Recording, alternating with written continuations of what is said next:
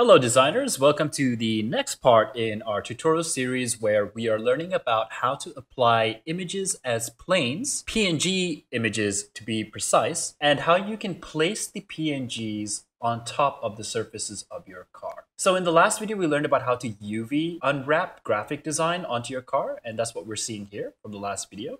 So today we're going to be working on this blank car right here on the side and I'm going to show you how do you bring in images into the workspace? How do you set it up so that it can get stuck onto the car surface? And also, how do you ensure that if it's a PNG with a clear background, a transparent background, you don't see the background? Now, for the latest version of Blender, when you bring in a PNG, it might automatically hide the transparent background, but in some cases, you might still see like a white or black background. So to avoid seeing any white or black backgrounds, we need to set up Blender so that PNGs appear with transparent background, otherwise known as alpha. When something is transparent, we call it having an alpha. So the first thing we're going to do is we're going to come here to the right panel in our Blender, and we're going to click the camera icon right here. Okay, These are the render properties. And before you get started, just make sure that your ambient occlusion is turned on.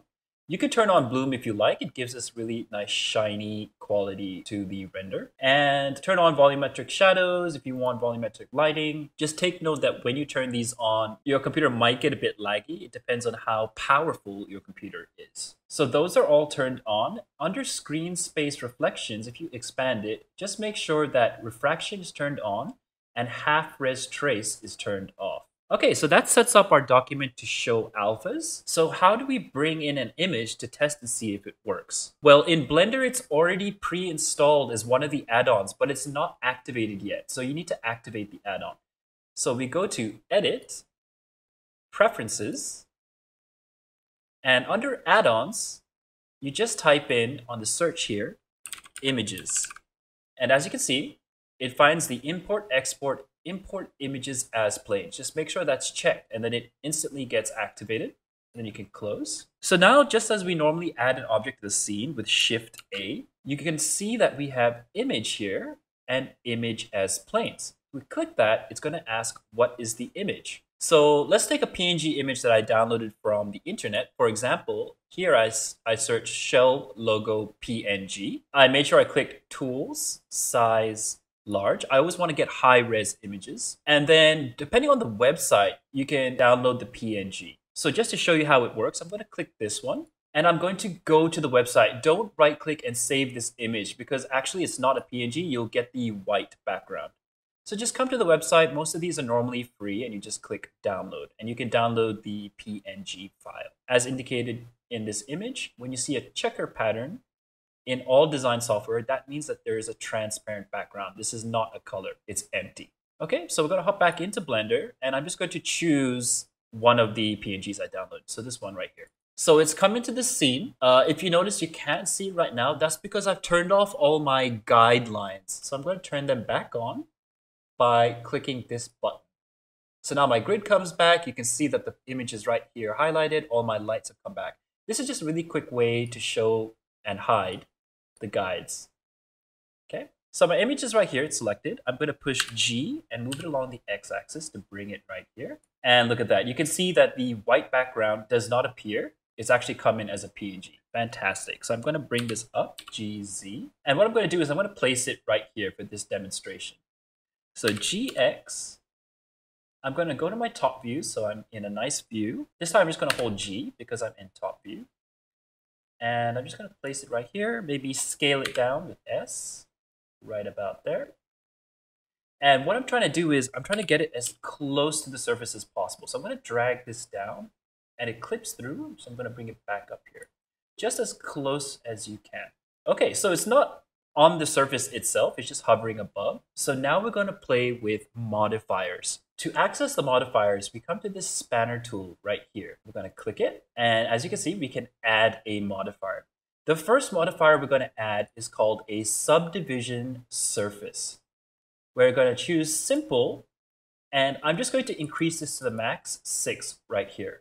So what we've done is actually we've created extra lines and edges and geometry for this image. That's because it actually has to curve along this surface And if you don't do a subdivision, this is just a nice flat rectangle, so it won't take the shape because it doesn't have that data to get modified. Okay, so because we have a subdivision surface here and it's a modifier, we can now add other modifiers in sequence underneath this one. So the subdivision comes first. What we're going to add next is a shrink wrap. So here's a shrink wrap modifier.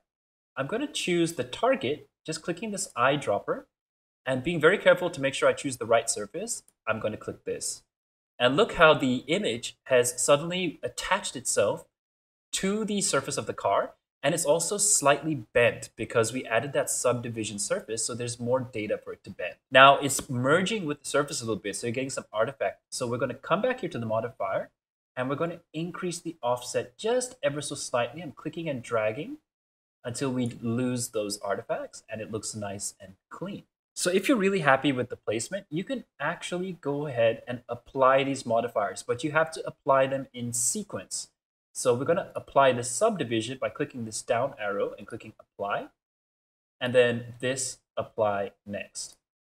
So now this change has become permanent. Sometimes you don't want to apply modifiers. You can actually just leave them active so you can always come back and edit the qualities of this object. So this is called non-destructive modifying. This is what makes Blender so powerful. It's actually all these modifiers that you can add to objects without actually making them permanent. So you can always go back and tweak things later on. So there you go. We've added a PNG image onto the surface of the car. Let's add another one. Shift A, image, image as plane. Let's choose this one. G, X, you just move it around like any other object because it comes in as a plane.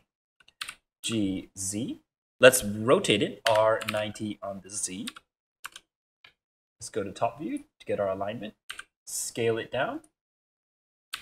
Just have to push G here. And then GZ. And what I'm going to do is I'm going to put it right on this fin. So just as close as possible. Add modifier. Subdivision surface. Simple. Increase to 6. Just to see, there's, this is the difference between simple and mode. So simple makes it look the same. Then add shrink wrap. Choose the target, which is this object right here and just offset it slightly. Let's zoom in so we can have a good look at that. We're going to increase the offset by dragging. There we go. Nice. I choose that, top view, shift D to duplicate along the x-axis, I push X, R180 on the Z, enter. So very simply, that's how you shrink wrap PNG images onto the surface of your model. So you can go ahead and get crazy with it. Just make sure that when you're in Google image searching for PNGs, you actually type in PNG and make sure that you download it from the website so that it comes in with a transparent background. Sometimes Google Images shows you this image, but it's not really a PNG. When you save it, you will have this white background. So you always have to go into the website and download. All right, good luck adding PNG images to your car, otherwise known as decals. Thanks for watching.